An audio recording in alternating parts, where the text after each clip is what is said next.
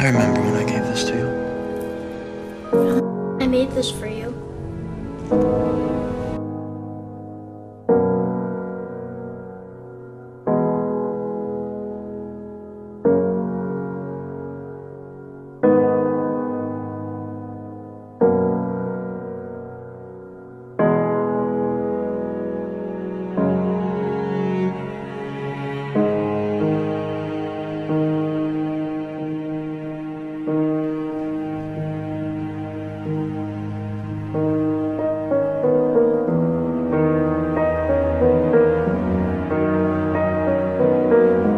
Thank you.